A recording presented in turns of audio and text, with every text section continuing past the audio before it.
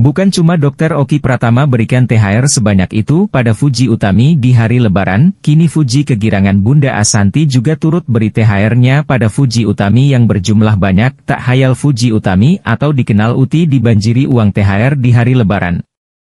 Pasalnya Fuji juga dapat THR menjelang Hari Raya Idul Fitri maupun di hari lebaran dari Bunda Asanti dan Dr. Oki Pratama, selain itu selebgram ternama Fuji mengaku dirinya tak mencari pria yang kaya. Fuji mengaku lebih memilih pasangan yang tidak posesif daripada cari pacar yang kaya raya. Sebab, Fuji mengatakan tak mau ribet jika sudah berpacaran. Aku enggak pernah lihat background orang kak, asalkan jangan nyusahin aku aja, ujar Fuji dikutip pada laman akun TikTok IC Terus 1, Selasa, 9 April 2024. Adik ipar mendiang Vanessa Angel ini tak mau sombong soal kriteria pria pilihannya.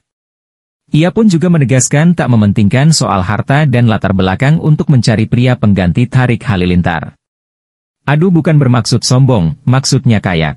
Nanti orang pada bilang, belagu banget sih, tapi kan kalian enggak tahu yang di belakang yang terjadi apa di hidup aku, jelasnya. Bukan tanpa alasan, Fuji berujar bahwa dirinya sempat dekat dengan seorang pria.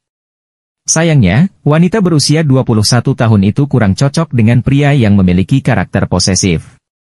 Pernah dekatlah sama cowok, terus ngerasa kayak ini cowok ribet. Beda, ini ribet. Kalau posesif tuh aku mungkin lebih kerisih, tapi it's fine karena aku kadang juga bucin asal jangan posesif-posesif banget. Ini tuh ribet yang ribetin, ujarnya. Menurut Fuji, lebih baik dirinya menjomblo lama daripada harus menjalani hubungan dengan pria yang dianggapnya toksik. Makanya kalau aku ngerasa aku enggak seregnih ya, no thanks, bye, tutupnya. Sebagai informasi, Fuji tengah digosipkan memiliki hubungan spesial dengan anak dirut Pertamina yakni Raffi Muhammad Febriansyah. Keduanya sempat terpergok pergi liburan ke Thailand beberapa waktu lalu. Momen Fuji liburan bareng anak bos Pertamina berita seleb terkini Fuji pamer liburan bareng dengan anak bos Pertamina yang bernama Raffi Febriansyah. Momen liburan Fuji itu langsung heboh diperbincangkan oleh netizen usai terciduk liburan bareng dengan Raffi Febriansyah. Melalui akun TikTok fanbase Fuji, terlihat keduanya tengah duduk bersebelahan di dalam kursi pesawat business class. Usai digosipkan dengan sederet artis tampan seperti Asnawi Mangkualam dan El Rumi, rumor tersebut akhirnya terbantahkan. Belum lama ini, Fuji terciduk pergi liburan ke luar negeri bareng dengan pria yang diduga kekasihnya itu. Bukan cuma berdua, juga terlihat Fadli Faisal yang ikut berlibur bersama dengan adik bungsunya. Melansir dari akun TikTok tentang Fujian pada Selasa, 2 April 2024, video Fuji bocor saat berlibur ke Thailand menggandeng anak bos Pertamina. Keduanya kompak memakai baju berwarna hitam dan tengah duduk bersebelahan di kursi pesawat.